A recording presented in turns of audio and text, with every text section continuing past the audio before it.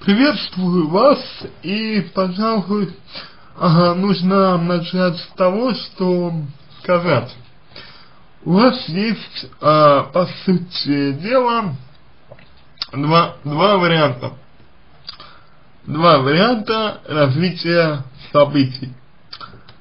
Первый вариант такой, что вы будете продолжать унижаться э, перед мужчиной и просить у него то, что вам нужно, э, хотя э, если бы ему действительно было не все равно, он бы уже давно помог бы вам, как и сделал, э, как сделал бы любой порядочный и уважающий себя мужчина, я уж не говорю о том, что э, любящий, это уже даже не столь важно, поскольку речь идет о э, неких таких базовых потребностях.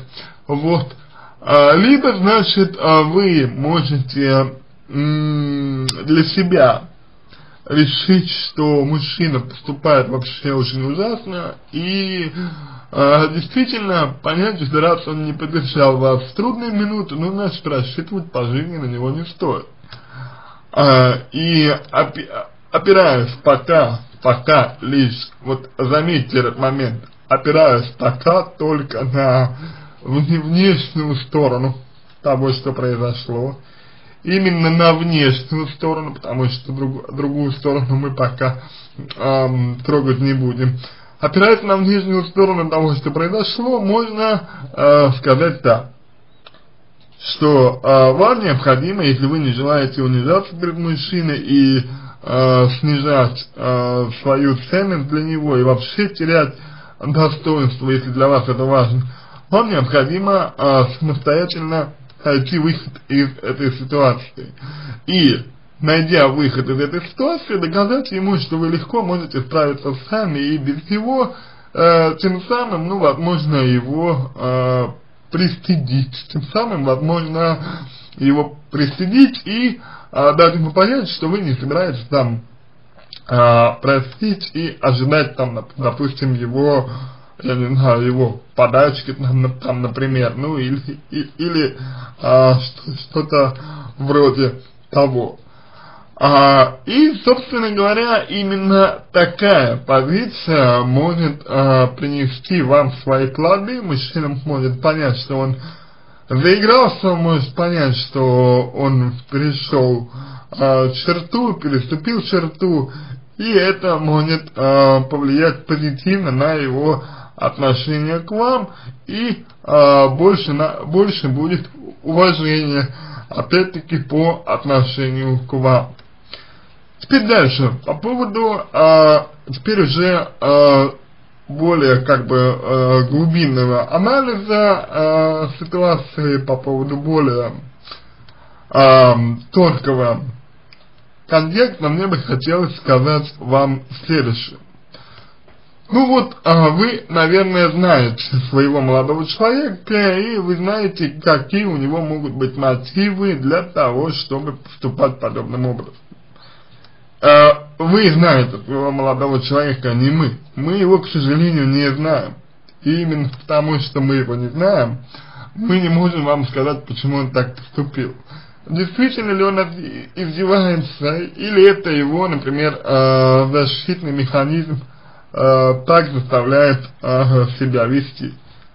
Согласитесь, э, сложно делать какие-либо предположения, опираясь только на ваши слова о нем, потому, потому что, э, исходя из них, он представляется таким бесчувственным э, вообще и совершенно, совершенно бесчеловечным мужчиной. Но вы же с ним какое-то время провели, значит, вполне возможно, что какие-то хорошие моменты у него есть. И вот об этом и нужно вам будет подумать.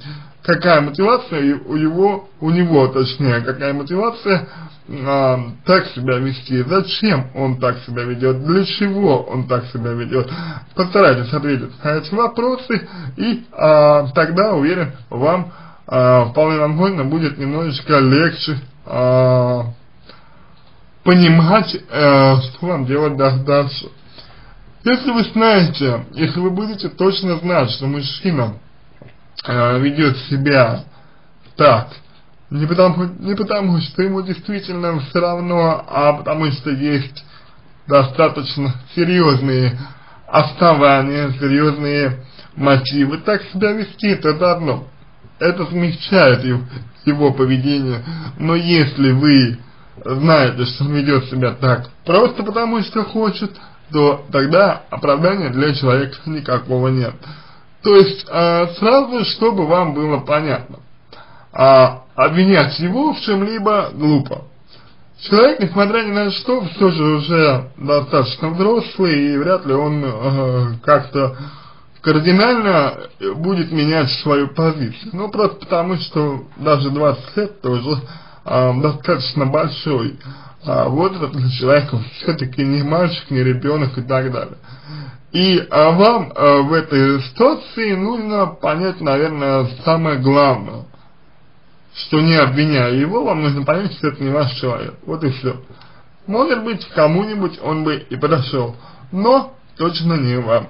Он такой человек, который может э, э, бросить вас в трудную минуту, э, ну, просто говоря, не нужен. А если нужен, то это зависимость, и тогда уже зависимость с вами нужно будет прорабатывать. Зависимость это э, невозможность удовлетворить свои потребности иным способом, кроме как через, через этого человека. Это плохо, это заставляет вас быть не свободны от него, а это не может э, быть вам на пользу в любом э, случае. Вот, в принципе, то, что можно вам сказать по поводу всей этой не совсем понятной, конечно, ситуации. На этом все. Надеюсь, что помог вам. Если какие-то вопросы остались, обращайтесь в личку, помогу. Если вам понравился мой ответ, а, буду благодарен, если сделаете его лучшим. Желаю вам всего самого доброго и удачи.